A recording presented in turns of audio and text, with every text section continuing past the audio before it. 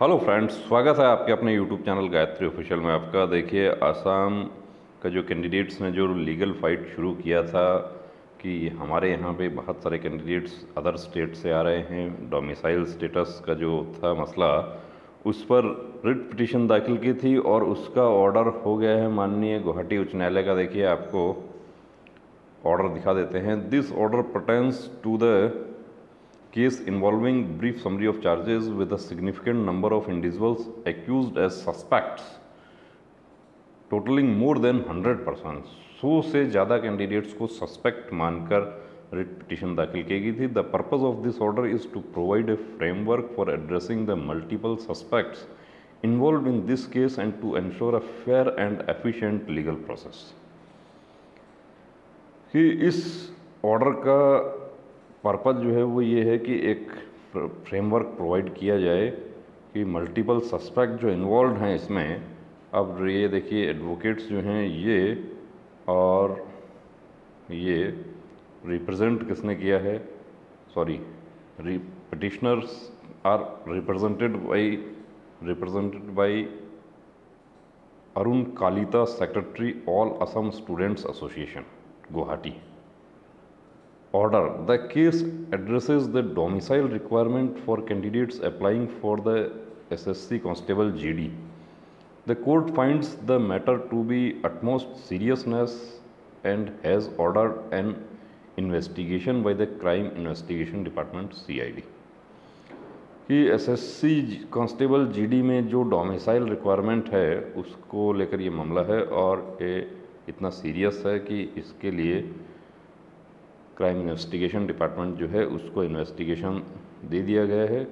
Until further notice from this court document verification will be withheld for candidates who do not speak Assamese considered as a suspect ये देखिए कि अगले order तक जो candidate Assam का language नहीं बोल सकता है असमीज़ नहीं बोल सकता है, उनका डॉक्यूमेंट वेरिफिकेशन विदहेल्ड किया जाएगा.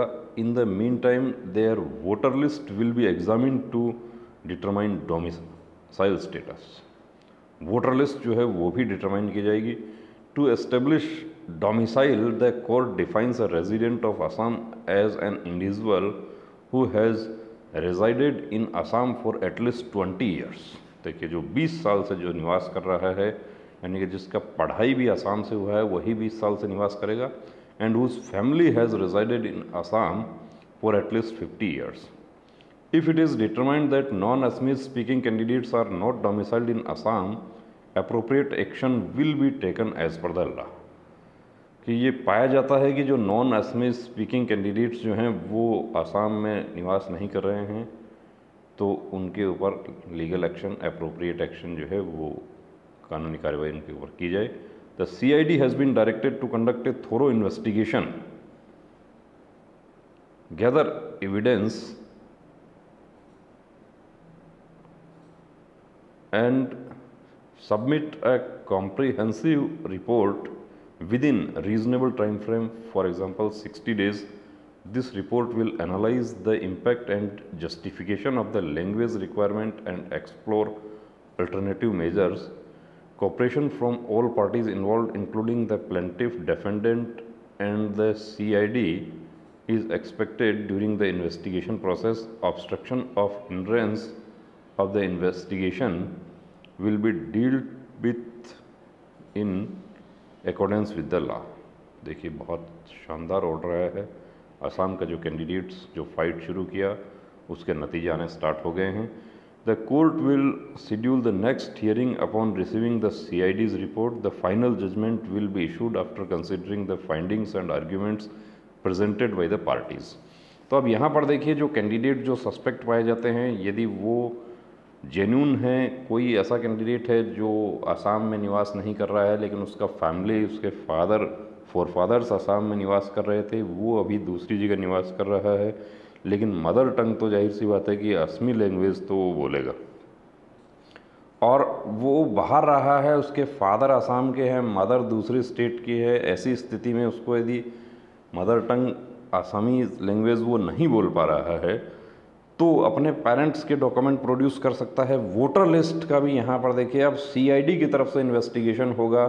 तो सब कुछ दूध का दूध और पानी का पानी हो जाएगा। आसाम के हमारे कैंडिडेट या त्रिपुरा के जो कैंडिडेट हैं, वेस्ट बंगाल के हैं, देखिए, उनके लिए या महाराष्ट्र के हैं, गुजरात के हैं, उनके लिए भी ये फैसला जो है बहुत, उनके लिए भी फ़ायदेमंद होने जा रहा है कि ये फैसले के आधार पे वो लोग भी अपना जो फाइट है उसको आगे बढ़ा सकते हैं। तो यहाँ पर देखिए, जो जेन्यून कैंडिडेट हैं, उनको ज़रूरत नहीं है किसी प्रकार का टेंशन करने की, डरने की ज़रूरत नहीं है। जिनके फोर फादर्स आसाम के हैं, जो वाकई हक रखते हैं आसाम की भर्ती पर, उनको डरने की ज़रूरत नहीं है। लेकिन जो किसी प्रकार का गलत प्रैक्टिस का इस्तेमाल करके डोमिसाइल प्रोड्स बनवा के, या इस तरीके का जो कोई काम किया है, वो लोग यहाँ पर देखिए, पूरी तरीके से इसमें क्या होने जा रहा है? कि जो असम का जो हमारा साथी जो कह रहे थे कि बड़ा खेला होवे तो वाकई जो है यहाँ पर खेला होवे वाला काम हो गया है। माननीय उच्च न्यायालय गुवाहाटी की तरफ़ से जो ये ऑर्डर है, इसमें 60 डेज़ का time crime investigation department CID को दिया है। सभी पार्टीज़ से सहयोग की अपेक्षा की गई है। जो असमी लैंग्वेज नहीं बोल सकते हैं, उनको, उनका डॉक्यूमेंट वेरिफिकेशन विदहेल्ड कैंडिडेट में डाला जाएगा उनका। तो और भी इसमें कोई अपडेट मिलेगा तो आपके लिए लेकर आएँगे। बने रहिए चैनल के साथ। जय हिंद।